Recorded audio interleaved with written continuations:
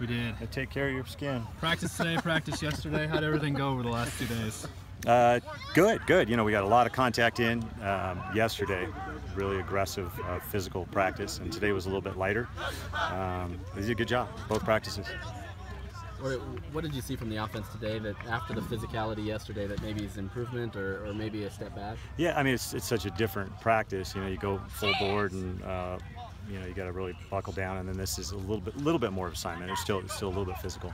Um, I thought it was pretty good coming out. You know, they're a little sore, um, understandably, but uh, I thought they did a good job. Number of receivers sitting out. Are you having a level of frustration there?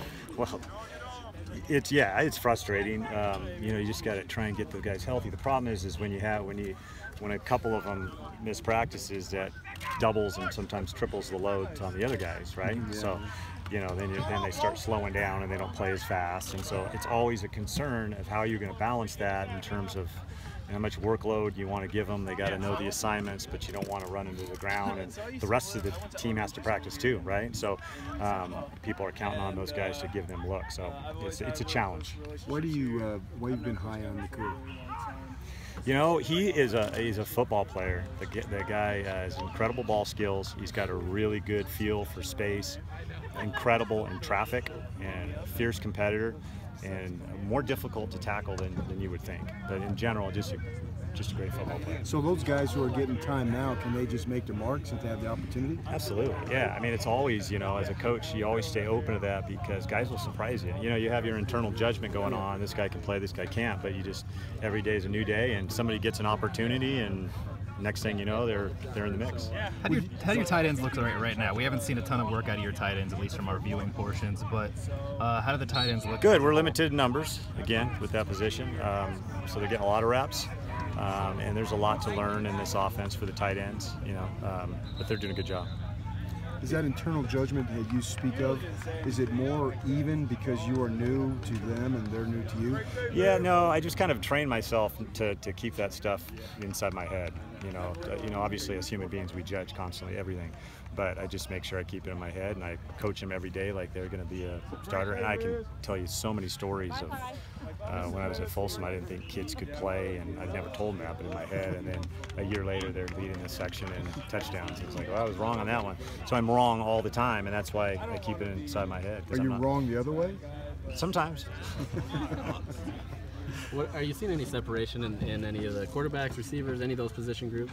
Yeah, I mean, I, I think at, in the at the wide receiver position, yeah, I mean, there's guys that are emerging that make plays like Samson, you know, um, and then quarterback wise, you know, I'm, I'm really not dodging it. I know you guys want more than I than I'm giving you, um, but they're it goes back and forth, and they're all really close. You know, in some ways, I wish there was more separation to, to make it easier, um, but in other ways, you know, I feel like there's three guys that I think we could win with any of them. I really do. Do you personally have a drop dead date or anything like that when no, you're...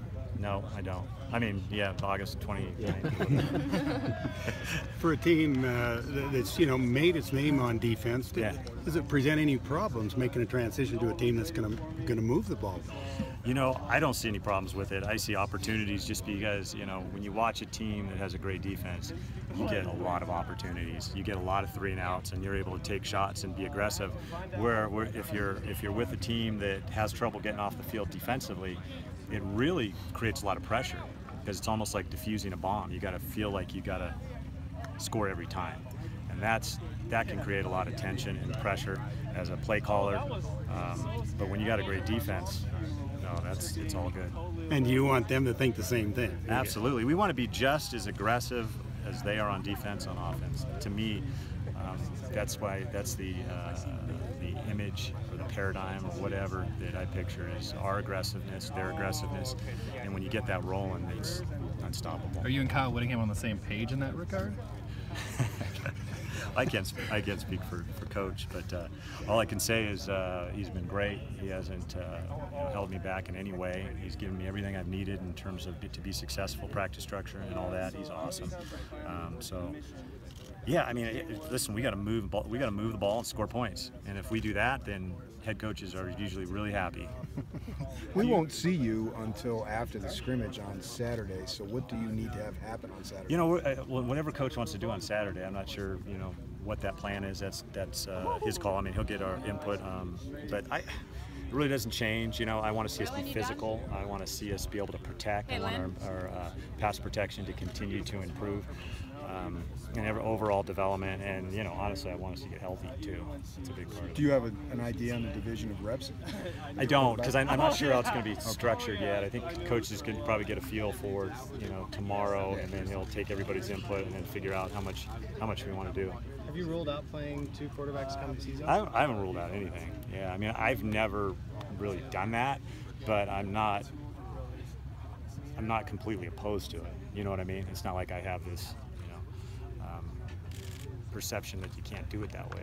You know, you got two guys that can play, you got to always have two ready anyway, and one struggling, the other plays, and injuries happen. So, but no, I haven't. I haven't counted that out. What about three guys? Any scenario in which you'd play three guys? Right here, four. It's just like a or juggling. four, yeah. Jason Who Shelley wants to go know. in next? Yeah, that's what I'm here for.